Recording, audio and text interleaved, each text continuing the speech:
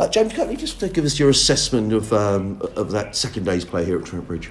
Uh, look, it, it it wasn't the way we wanted to start it, and um, that was a shame. We wanted to try and get as close to parity as we could, um, but came up short.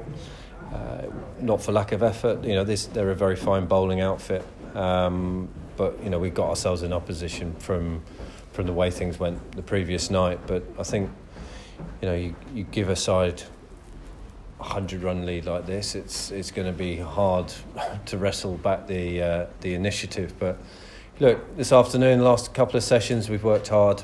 You know, we've we haven't let the game get away from us. Um, I think as a unit, they've bowled pretty well. Uh, it has flattened out, and that's pretty. See, there's still a, the odd ball does something, but um, yeah, I think when you lose that sort of initiative, it really does put you on the back foot, and you know we're going to have to play some extraordinary cricket to to get something out of this.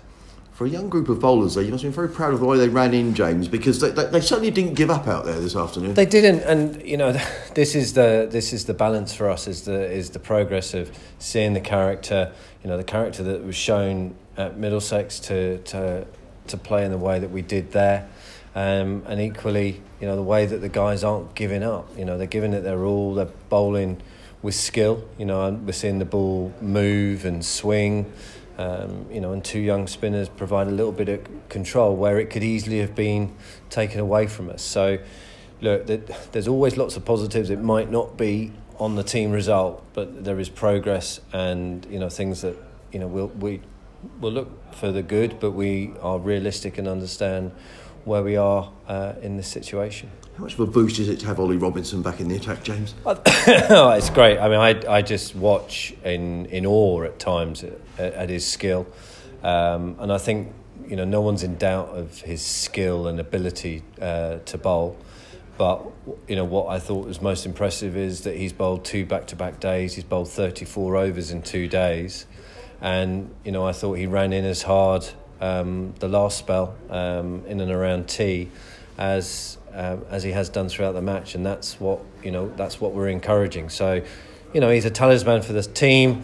Um, he's fun in the dressing room, but he um, he drives standards out on the field, and um, it's it's a welcome to, to have him back. Um, you say the wicket's flattened out. I mean, it's, a, it's going to be a tall order tomorrow. But I, I mean, what, what, what can you say to the guys? At some stage, you're going to have to bat tomorrow. What, what's that run chase, if you can call it that, going to be all about, James? Is it breaking it down? It would be. It would be to chunk it down. As I say, we wanted to get as close to parity first innings. We didn't get there. You know, we worked hard here, but you know, it's it's stretching out to a 400 run lead, um, and again, it will be more the character and the mindset than um, perhaps you know the the figures at the end of the game. Uh, final question: Archie Lenham last night batting against two you know, world class performers, and it wasn't easy out there. And it, you had to marvel at you know a young man who didn't flinch in the face of some pretty hostile bowling. James. No, and this is it. I mean, this is the part that you know we saw him play uh, fantastic well at Middlesex.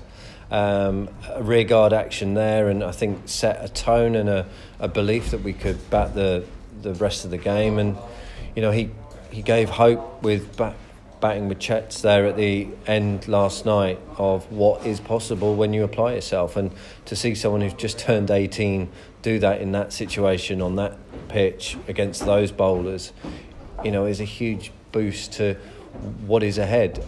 But equally, we're realistically, you know, we're realistic. It it isn't enough at in the state of this game. Yeah, is that something you can use tomorrow to say to the other guys, look, you know, if you, you, you, get your head down out there, who knows? I mean, it's a long exactly. shot, we know. No, we, we, we are. Like I say, look, it's, it, that's what, the for me at the moment, a lot of the time it's judging the character, getting more information about the mindset of how we play cricket and arrest the sort of, you know, we've, you know, we've played cricket to, you know, I think the game at Middlesex, I think in, in the past it might have been a game that we might have capitulated in and we didn't.